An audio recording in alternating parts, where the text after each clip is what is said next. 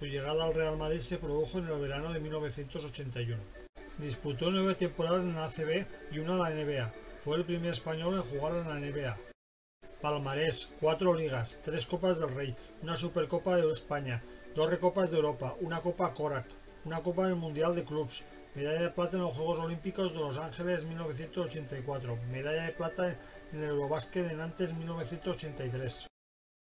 Con Audi Norris, el estadounidense del Barça con el que Martín mantuvo unos duelos épicos. Fernando Martín falleció en Madrid el domingo 3 de diciembre de 1989, sobre las 15 horas a causa de un accidente de circulación, con tan solo 27 años.